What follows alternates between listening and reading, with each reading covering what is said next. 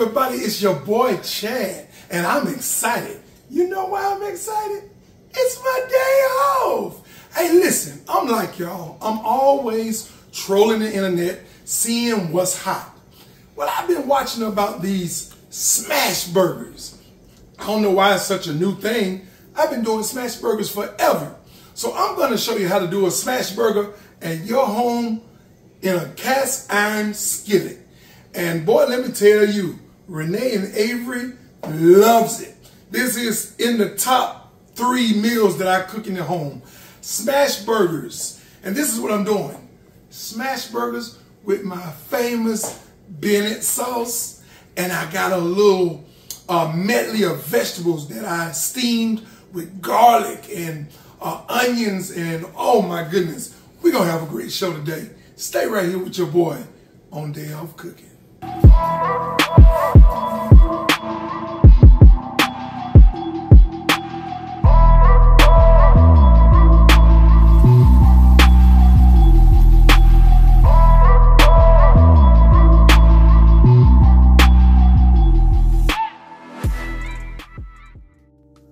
What's up, everybody? We're going to go ahead and get started like we always do. And the star of the show is that ground chuck we got right there in the middle for these smash burgers.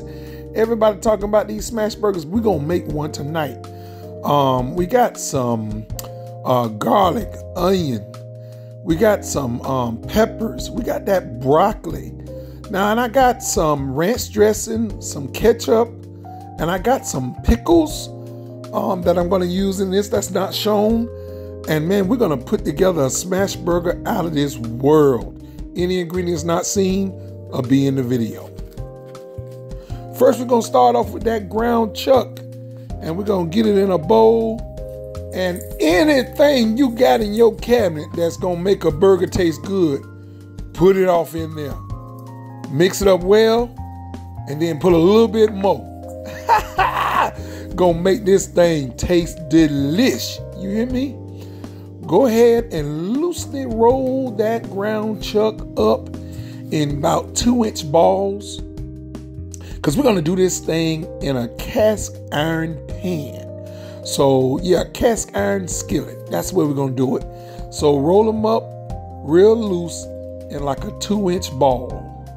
There you have it. They should look something like that. Now, we're going to take that broccoli and we're gonna go ahead and lay that thing out there and get those florets real loose. I like that fresh broccoli. You can use frozen if you like, but I like fresh. Then we're gonna take us some onion. Oh, there's nothing like the sweet flavor of an onion in a vegetable medley.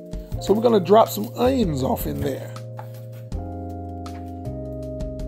Then we're gonna take some peppers, some red, yellow, oh man, and orange peppers, sweet peppers. And we're gonna dice those things up and we're gonna drop that in there too. We're just doing a rough cut on them. And we're gonna take some of them sweet baby carrots and drop it in there, mix it all up, and we're ready to work now.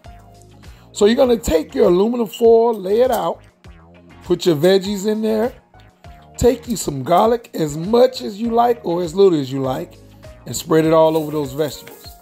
Then I got me a little ranch seasoning.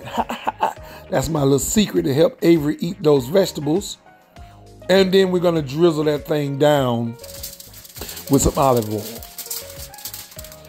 Take that aluminum foil. Look how I do it. Flip, flip, clamp it down real good on one end, turn it to the other side, clamp it down real good, and you got a little steam box for your veggies. It should look something like that. Now we're gonna make this Bennett sauce. Whoa!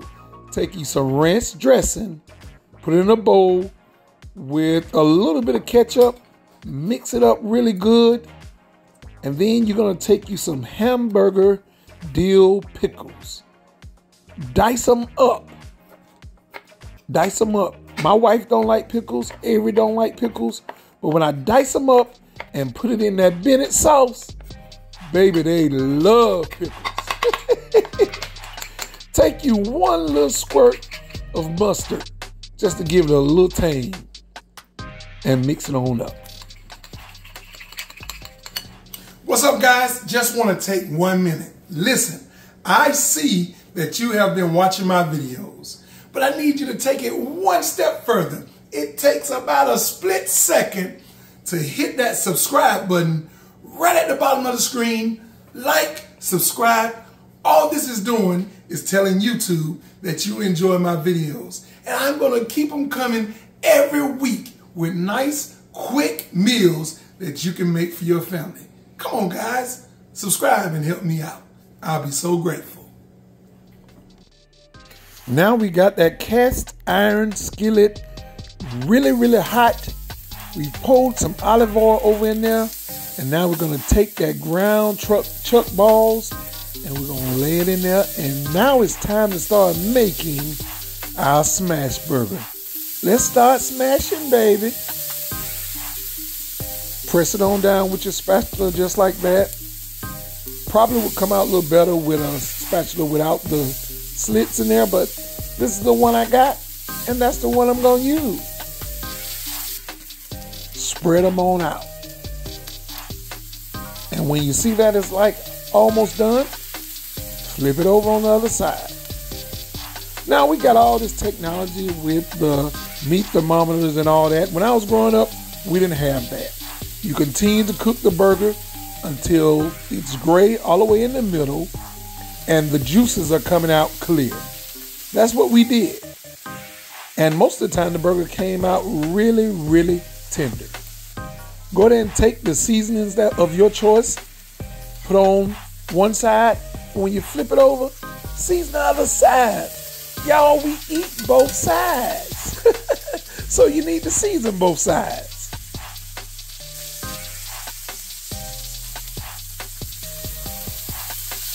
Flip that thing back over and let those flavors get deep down in that meat. And boy, you got a smash burger. Let's take it off the heat and set them aside.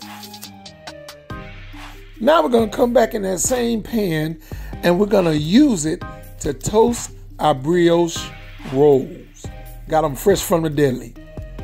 Put a little butter in the pan Got the pan kind of nice and hot. So to go ahead and toast those buns real nice and pretty. And I like that little smoky char type flavor on my buns. Oh yeah, they looking good. Buttery. Got that little char like I was talking about. I love it. It gives great flavor.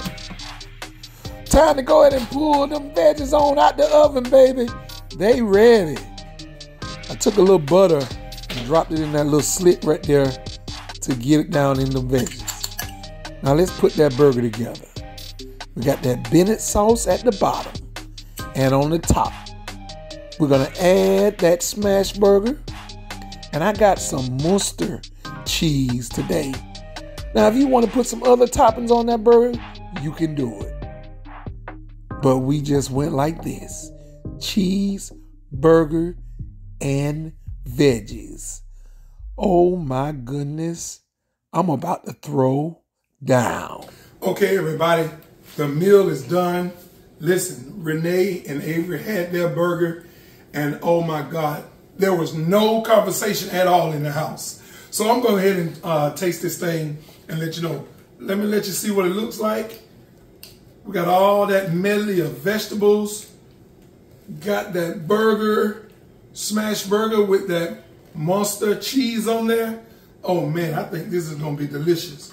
And remember, like I always tell you, if it doesn't taste good, I'm gonna tell you it doesn't taste good. All right?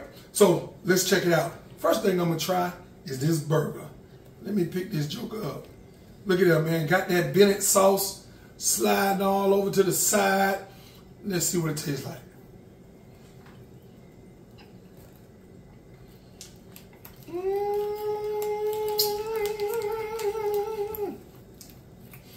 Oh my goodness. Now, I don't want to toot my own horn, but that is a burger right there. I made sure that that that that uh, ground uh, uh, ground chuck was seasoned very well, got flavor all the way through, got that business sauce with those little hamburger pickles and that. Oh man, it's delicious. Now I'm gonna try this vegetable medley. We got broccoli, uh, peppers, onions, garlic, all of that good stuff, and some little baby carrots in there. Let's check that out. Mm-hmm. Oh man, the garlic.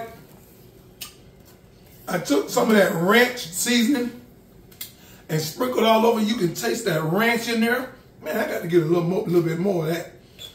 Mmm, the onions are sweet. Y'all, I'm telling you, that is delicious. Like I always tell y'all, you can make an outstanding meal for your family in 30 or 45 minutes. All you got to do is get up and do it. Hey, y'all, it's time for me to go.